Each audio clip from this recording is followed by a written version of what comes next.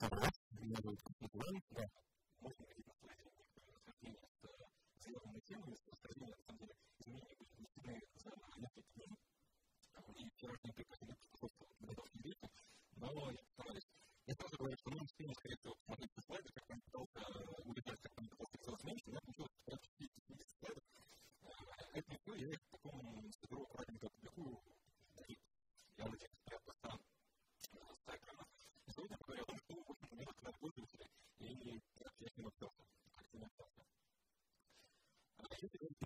очень классно закончил проект на рынке, то, насколько я помню, проект меня, 16 миллиардов поставок был в 2016 год. И практически, если была статистика, по концу частных преимуществ, поскольку порядка, ну, конечно, меньше частных компаний, у которых мобильных приложений мало, кто понимает, зачем нужно мобильное приложение, поэтому должны держать. И поэтому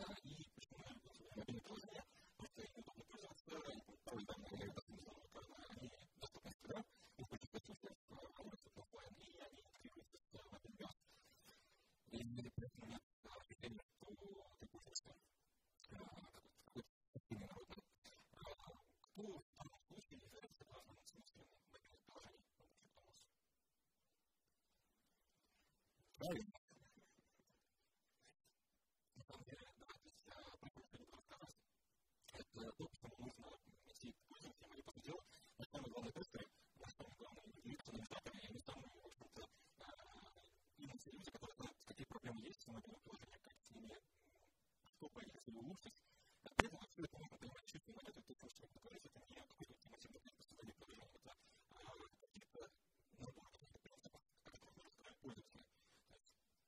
Да, собственно, чтобы сделать на самом деле, для этого я хотел сделать большую презентацию, брать несколько кейсов иностранных, показать с примерами еще, как хорошо делать бизнес, но, на самом деле,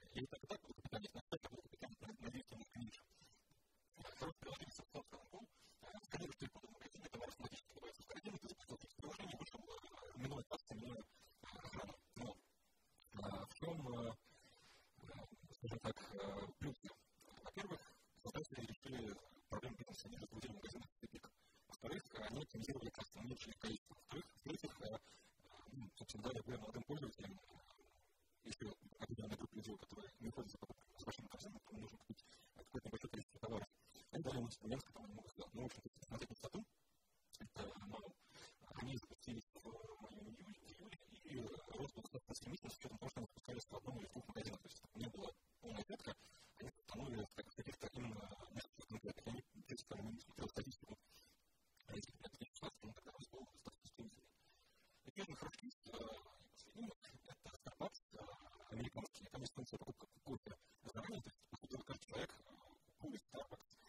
знает, когда он будет проходить мимо проекта мощным Starbucks, он знает э, время, которое он захочет быть поздно. И поэтому вы можете закупить заранее. Это много функций, на самом деле, это все сделать, в общем-то, реализовано у. Но они также разбудили решили задачи и пользователей бизнеса, реализуют именно их функции. То есть они прислушались э, к глаз народа, кто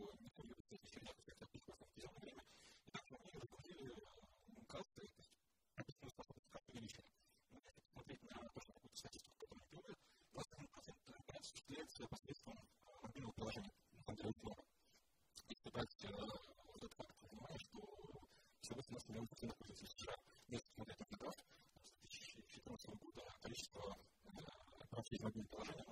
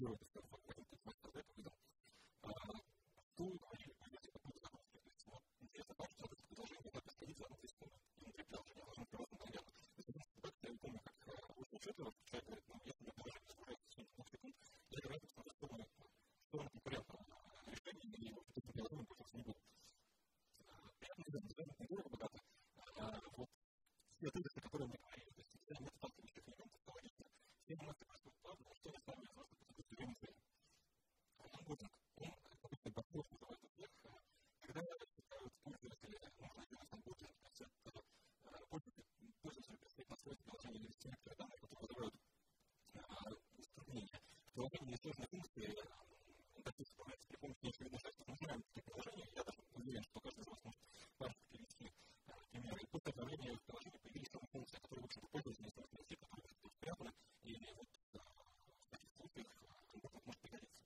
Иногда, к сожалению, да, там, ну, не такие, а благодарен, и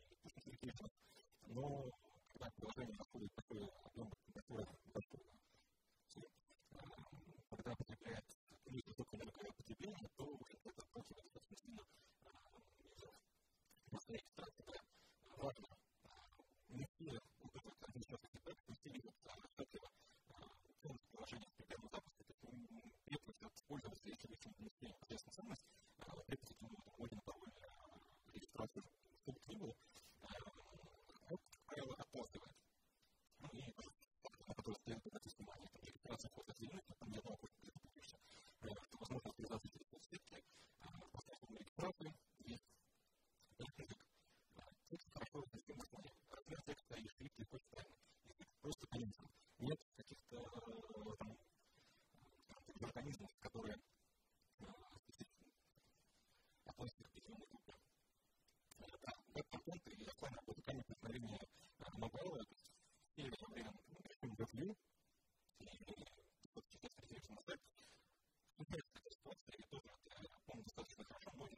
что Китай был в положении работать исключительно с интернетом. То есть элементарные контакты можно сделать без, скажем так, каких-то скрежирователей, сделать без подключения типа Wi-Fi, это как раз таки существуют случаи, когда контакты между нами мало, скажем так, интернета нет. Еще один сценарий,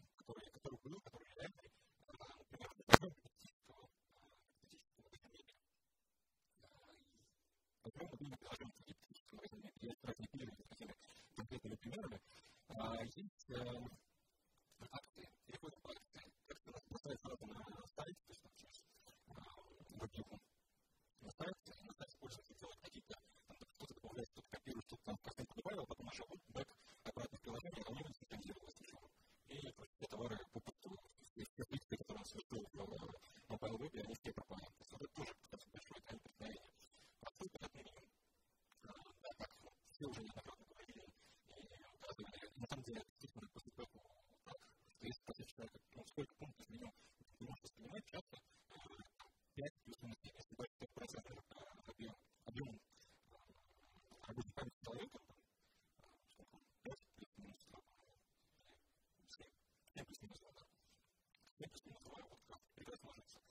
все говорили, все говорили, что меню внизу значительно более удобно, чем меню в гамбургер.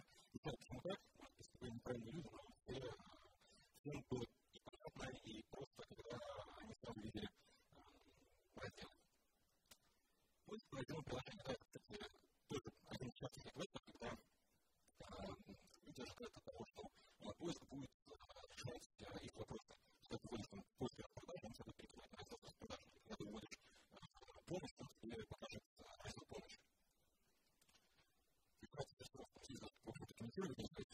объем большое количество контента, то ну, инфильтрация все необходима. Странно, очень странно, когда а, мобильное приложение такого нет. Вот расположено в видном месте. То есть там, большой объем информации представлен в мобильном приложении, а, как правило,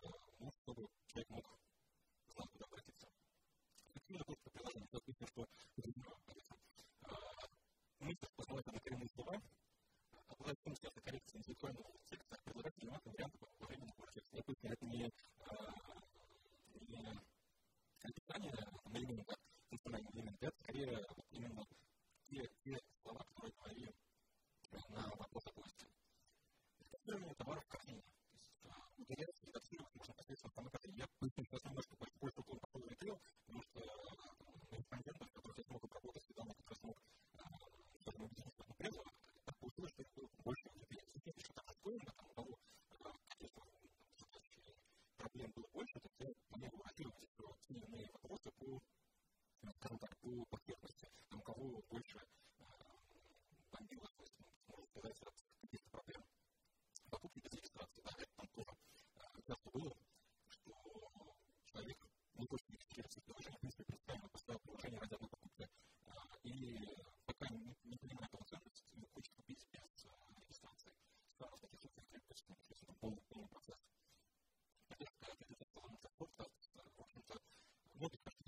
бесполезная штука, да, но когда ее нет, что-то там у кого-то умирает.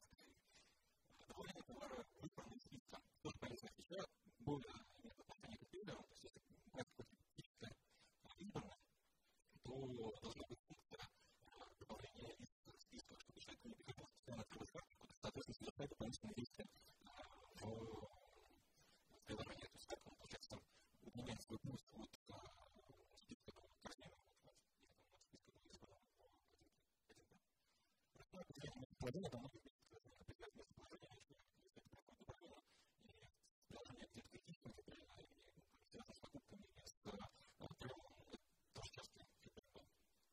Контакты помощи комнаты бывает, если контакты требуют подключения к интернету, тоже вызывает большой подход. Если становая корзина, ну, тут, в общем-то, тоже комментировать. Если человек решает свои покупки, как правило, не, не импульсивно, если это не импульсивная покупка, то он достаточно долго выверяет, но и здесь важно дать ему возможность подумать, передумать, это снова вернуть в корзину. Простой повторный вход в. Это тоже понятно. Просто результаты поиска было достаточно очевидная вещь, однако странно, что некоторые, некоторые правда, было понятное обозначение. Если мы используем какие-то кастомные пункты или кастомные обозначения, как правило, требуется, многим требуется какие-то пояснения. Так, визуально, вот как мы добавили в корзину, у нас есть надпись, что добавлено в корзину. Возможность увеличить изображение, ну, понятно, тоже больше применимо к ритейлу, хотя, в принципе, не только к ритейлу, можно в те приложения, которые работают с контентом,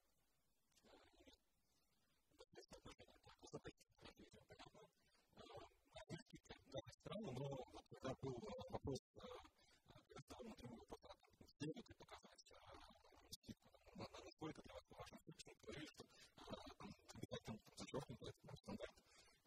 Это понятно, что когда цена красная, это может немножко вызывать недоумение. От доставки тоже понятно, это ритейл, избранная наличие, избранная, например, собственно, это тоже очень частый реквест, если приложение, которое, с которым предполагается какие-то покупки, нет избранного, там, предстоящего, то еще это странно. Простые формы ввода. Да, вот это тоже вещь, которая у многих подстерла, если там стирает клавиатуру, стирает форму ввода, нет какой-то, нет подсказок, если сложная форма ввода, нет, не открывается при автоматически при нажатии там самая клавиатура цифровая. А тут реально время не показывает. Заполнить форму, пытается на исполнение там 50 минут, а потом показывает там иную неправильную информацию, то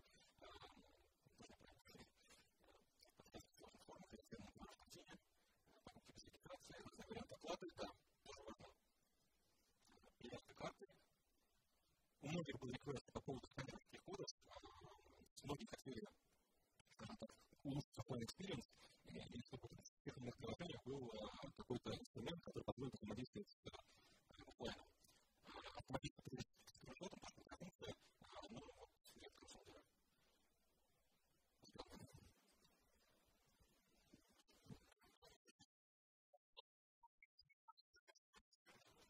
Самое конечно, опять большой по техникам реализации, но это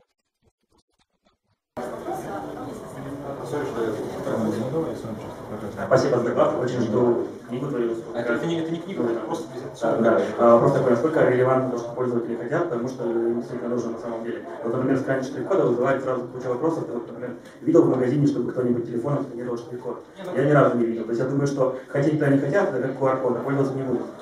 Это, это, это, конечно, я это, конечно, я полностью там, понимаю и разделяю такое мнение, но я, я говорю, что это не ультимативный гайд по тому, что должно быть в приложении. Это то, что болело. И то, что болело многих, там, больше, чем одного упоминания, по крайней мере. И вот в таких случаях после действительно очень много накопилось. И мне кажется, ну, когда 40 человек говорит, что, черт побери, я не буду пользоваться приложением, если оно грузится больше двух секунд, то это по статистически значимый результат. Я, я здесь не брал никаких ни количественных исследований, я там запускаю э, по различным моделям э, исследований. Здесь именно э, интервью, то есть классическое интервью, и вот взаимодействие с именно пользователями продукта. То есть это не потенциальные, это не фактически, это э, люди, которые используют продукт.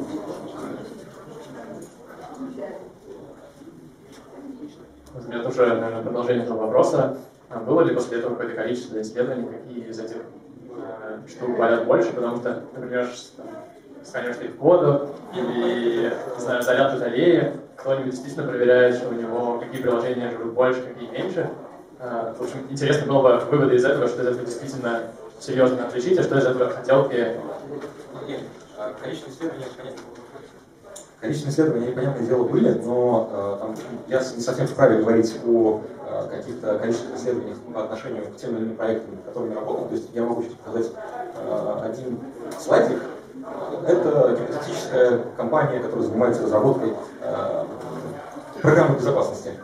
Назовем это так. И там, по фичам здесь был сделан сравнительный анализ конкурентов, выделенные функции, которые есть у конкурентов, выделенные функции, которые есть в мобильном приложении у э, компании.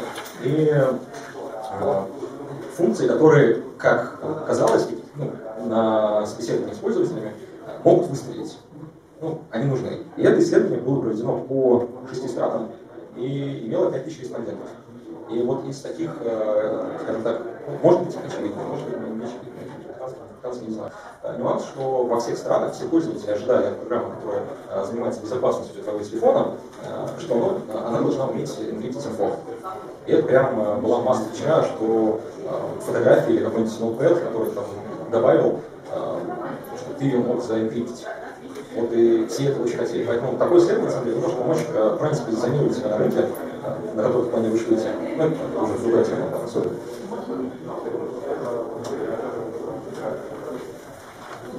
Такая штука с психологией человека. Пользователь может говорить свои ожидания, когда он что-то получает он просто может менять свою точку зрения, это нормально. То есть э, ожидания обычно расходятся с тем, что на самом деле происходит. И... Другое дело, не совсем понятно, зачем ожидания исследовали, я просто немножко опоздала, поэтому... На самом деле здесь была не конкретные ожидания. А здесь а, я немножко расскажу, зачем это все сделано.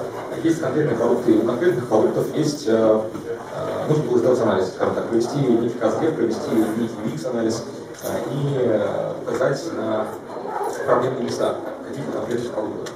И исходя из этого были проведены, понятное дело, большое количество качественных исследований. И это эти вот этот статек, это не исследование пользователей, это какие-то выводы, которые были сделаны, то есть это общие проблемы, которые были озвучены пользователями э, по отношению вот, к различным, различным продуктам. То есть не знаю, насколько это репрезентативная выборка, но мне показалось, что если там болит, условно, э, большое количество человек одни и те же вещи, то, в принципе, об этом можно.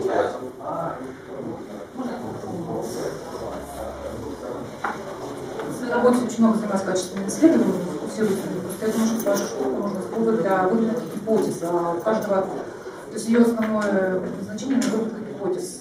А на самом деле, э, в общем, у каждого рынка свой полис, у каждого, ну, короче, у каждого рынка свой... Я понимаю, что это очень э, широко. С одного рынка нельзя переносить на другой рынок, и они очень сильно могут отличаться, и даже пользователи с одного рынка, из разных сегментов, у них может быть разный опыт взаимодействия. Но это просто для выработки нет. Я, я поняла, в чем ценность вашей презентации. Это просто для общего развития и для выработки гипотез, готовых для проведения качественных исследований надо выработать гипотез, чтобы просто иметь представление, что вообще бывает. Это не, не руководство действия, что все надо сканировать. Я, я, я, я просто вопросы задала такие, как уже это надо внедрять. Я раз говорил, что это не ультимативно какая-то создание мобильных это просто какие-то проблемы.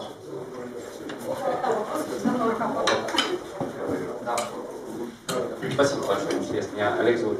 А, вы обмолвились э, о приоритизации, по спискам, все здорово. Но такие вещи прозвучали, которые, да, там, и видишь боль пользователей, да, то есть она где-то озвучена, да, и, и улучшать хочется, э, и, и вместе с тем, то есть, э, ну, улучшение, то есть улучшить, поправить, исправить очень многие вещи, как там э, скорость загрузки, да, достаточно емкие, вот, а конкретно покажем это, может, чем померить, получилось, не получилось, потому что, ну, у меня были кейсы, когда вот очевидно такие вещи правишь, и э, ну, метрики выстраиваешь, которые, на которые это ну, должно повлиять вот, обязательно, и ничего не происходит.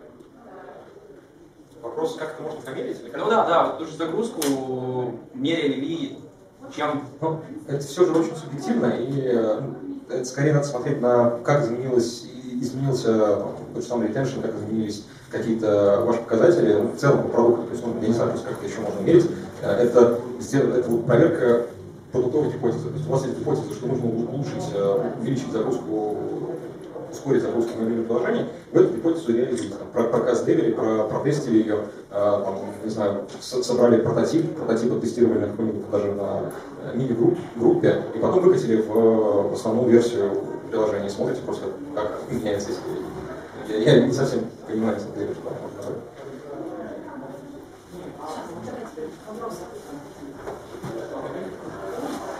Спасибо, Леонид Долгов. А, у меня такой вопрос. Во-первых, хотел сказать, 500 интервью провел, да? Офигеть. Много. А, можно сказать... Я понимаю. А можешь сказать а, чуть подробнее про а, сами интервью? Какой был у тебя формат? Может быть, во время интервью, сегодня провел очень много, сделал из себя какое-то открытие? На самом деле, да, была мысль сделать э, презу о том, как делать интервью качественное, но на самом деле это нужно все очень хорошо структурировать. Потому что э, в целом интервью были разные. Были разные цели в интервью. То есть у некоторых это сесть, грубо говоря, вот выпустил свою сборку, сесть с пользователем за, за телефоном и попросить его комментировать каждый шаг. Забронировать билет. Я не знаю, мне, мне больше всего э, заставляют именно какие-то практические симуляции, когда ты, да, когда ты ставишь пользователю конкретную задачу и просишь его комментировать все шаги. И вот почему-то наиболее емкий фидбэк получается именно с э, таких э, интервью. Но это если мы говорим о новых пользователях. Если мы говорим о текущих пользователях, то, то это, как правило, поначалу, конечно, сбор какой-то воли, ну и проверка некоторых гипотез в формате вопрос-ответ. То есть, если брать какие-то методики и методологии проведения интервью, нет, я не могу сказать, что э, есть какой-то универсальный способ э, проведения. Ну, все жопы, не всегда это можно применять. А как ты получал вопросы? Но это тоже на уровне продуктовой гипотезы. То есть есть, а, но это нужно рассказывать про работу, ведь немножко подробнее в кулуарах рассказать. У нас минута осталась. На последний вопрос или У меня, наверное, такой, меня зовут Иван, а, вопрос недоумения. Как я не так много в мобильных приложениях участвовал а, в запуске, но, грубо говоря, если рядом с разработчиком стоит один более-менее там, не знаю, дизайнер, UX, разработчик интерфейсов, то вот подобных ошибок, которые здесь, в принципе, как бы нет. И ощущение, что доклад скорее, если у вас один разработчик на мобилке, и вы просто там продукт к нему, вот тогда это пригодится.